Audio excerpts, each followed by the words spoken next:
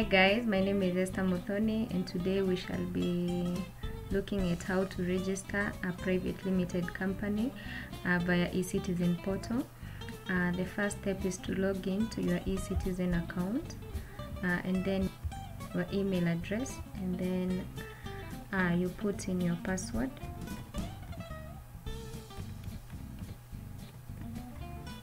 then you log in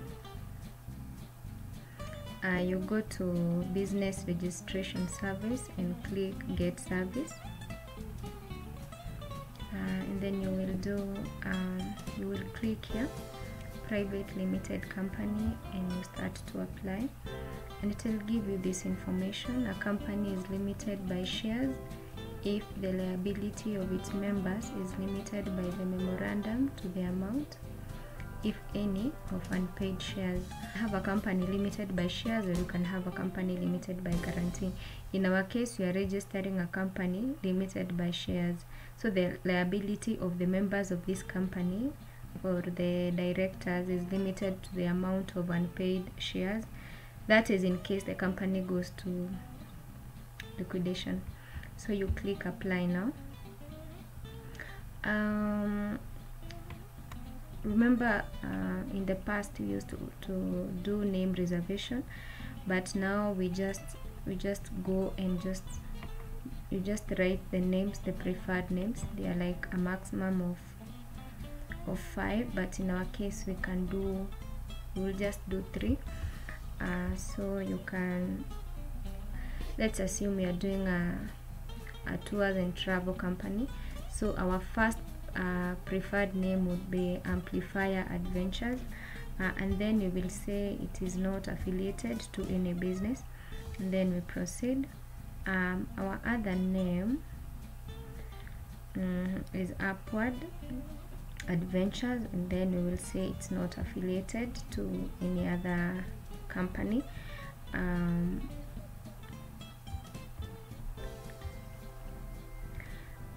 the third uh, we will say that it's uphill adventures and it's not affiliated with any other company. And then our name four we don't have to provide a name here. So in our case we can say not applicable and even here it's not uh, affiliated to another company. Then also we we say here that it's not applicable because we, we already gave our three preferred names. So remember your company will be given the name according to the order on how you have given them. So make sure that your first name is like your your number one name like your priority name. And then you click here and then say none. Then we proceed. Uh, we save and continue. Um, here is where you we do articles and memoranda so we are going to fill the applicant details who is applying for the company. It can be an agent or the owner. So in this sec in this case i'll say that i am the secretary and then i provide my my address and the postal code. Yeah as gpo i'll put gpo and then articles of association. These days you can uh, you can adopt the model articles of association applicable to the type of company selected. If you want to view the articles you just click here and you can view them. Uh, you can as well adopt some of those models articles and then maybe you have prepared your your name to supplement them. So you can click uh, whatever fits you. Then you can see the company has prepared its own articles of association. So in our case we are adopting the articles as they have been provided. So we click there or you just let it be. Uh, in our case we're not doing a business that is regulated under any any law. So we will just say it's non-regulated. The nature of business we can say it's tour tours and travel. And then the sector you come and select we can say you can select all these whichever fits your business. In our case for example you can do arts entertainment. In our case we will say other services and then we proceed division we write other services as well. And then we will say the group other services. Uh, in the class of the business we will also say other services. But remember you can you can select uh, there's a range of services provided. So you can select uh, where your business is falling on and then when do you want to start the business? In our case we want to start um, on september maybe in a in a week's time. So you can say 28th of september. And then you do accounting period. When do you want to be doing accounting for your business like end month? So in our case we will do december like it's the end of year so yeah that will be our accounting period. And then number of employees. In our case we don't have employees. So if you have employees and you'll be paying them more than 13k per month 13486 as provided here then you're supposed to, to include their number. But then if you don't have employees or you have people that you'll be paying less then you just indicate that it is zero uh, and then estimated turnover uh, for your business. Um, you will you will automatically be registered for value added tax if your annual turnover is more than 5 million. So in our case we will say maybe our business is worth um, our turnover maybe just per year will be 1 million. Yeah so in that case you put the figure there. And then is the company you're registering a subsidiary company or a branch it is not it is not a subsidiary company it is not a branch it is the main thing. So you put there it is not it's neither of those things. And then was your business formed as a result of amalgamation or acquisition? Remember two businesses can come together or two companies can be merged together into one through what we call amalgamation or acquisition. So in that case you say you say no because uh, we have not amalgamated or there is no acquisition in this case so we save and continue. And then the registered office of the company mm, where will the company be located and what will be the address so you have to fill all those details. Um, so you'll come here and say maybe the company is in Nairobi you see it's in Nairobi sorry. Mm, yes the company is in Nairobi uh, what district mm -hmm, Westlands and then locality Westlands as well. And then uh, what what is the name of the building. Uh, Westlands Towers uh, street you can as well see Westlands. And then we do the floor you can put in the floor where your company is located.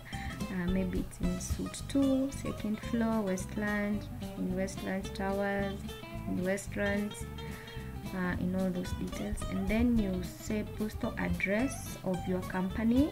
You put any any number that you know uh, that is the postal address if you have one yes.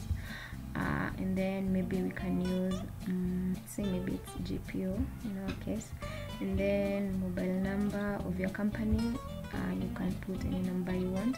And then the email address. And then you'll be good to go. So we save and we continue mm -hmm. and then ownership uh, share information um, the amount of shares uh, you will be available for allocation in your company and how much is each share. So in our case you'll come here and add. Uh, remember for shares we have categories. We might have shares ordinary shares or preference shares. All that you have to include. So in our case we have our category is is ordinary shares. And then uh, we have 1000 shares. And each share is worth 1000 remember our we want our nominal capital to be 1 million. So we will have um, the number of shares will be 1000 multiplied by 1000 that will be 1m so you can as well add add other shares here. But in our case we are good to go.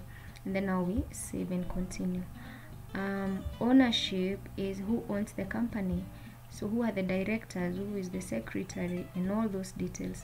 In our case we are going to register a company with only one director. You can do that with the new the companies act 2015 you can register your company with just one one director. So you will come here and add the information of the directors. If there's a secretary as well you can add uh, so we'll come here and add the information. Um, in this case maybe uh, i'm the director though i'm applying as a secretary but that is just for purposes of uh, showing you how to do it. Then i'm a kenyan citizen. I input my id yes and then we're good to go. We proceed. Mm -hmm. and then here are the documents. Cr1 cr2 uh, cr8 and cr we'll just download for the purposes of this. Mm -hmm. for us to see what they are. So this is and the other one is cr2 cr2 contains mm -hmm, it, it is a memorandum for a company with share capital. So it is showing that the number of shares i have mm, we said we have 1000 shares. Number of shares i have taken i have taken one share. Class of shares taken is ordinary shares. And then as a subscriber i have to show here and sign. Uh, and then you have to sign as well. Yeah as a subscriber in, as well as a director shareholder. And then the other form is this form cr8 cr8 um, it is notice of residential address of or change of address of director of a company. It is where i live. So these are just the details of the director. In this case director shareholder. So it has the locality and, the, and then here we have uh, the statement of nominal capital. Like this the capital the initial capital when you're setting up uh, the business. It is 1 million uh, it is divided into one ordinary shares in 1000 and each of them is 1000 so this is how it looks like guys. And then in our case we have been exempted from stamp duty.